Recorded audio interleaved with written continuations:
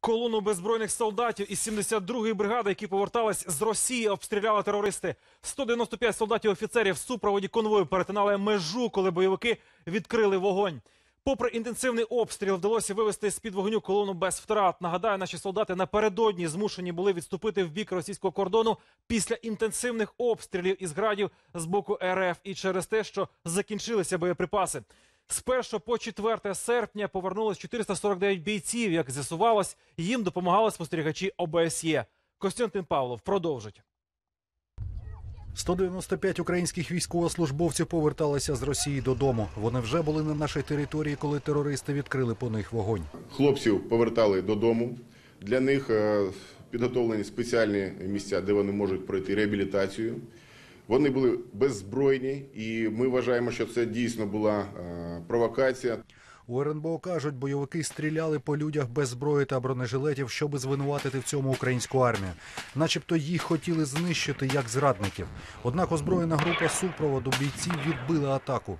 На території Російської Федерації залишаються ще 116 українських військовослужбовців. Зараз тривають переговори щодо їхнього звільнення. Ці вояки та прикордонники прикривали прорив через кільце терористів великої групи із 72-ї механізованої бригади. Хлопці змушені були вийти на територію Росії, бо з порожніми ріжками автоматів опинилися між двох вогнів із російського боку і терористів. Если бы мы не перешли, мы бы, ну, полегли бы. Мы просто там мы лягли, просто да, там и полегли, то и все. Нас бы просто спалили там.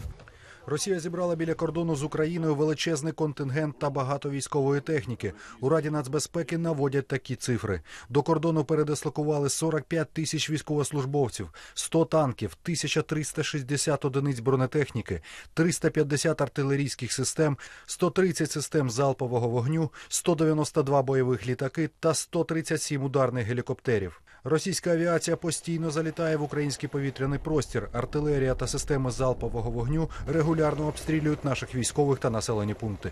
Міністерство закордонних справ України вкотре черговою нотою висловило категоричний протест російській стороні у зв'язку з актами агресії проти нашої держави. Українська армія тим часом на підступах до Донецька. У РНБО кажуть, звільнення обласного центру надсерйозна військова операція. Тому подробиць наступу не анонсують. Костянтин Павло, Галина Гран, спецкор 2+,2.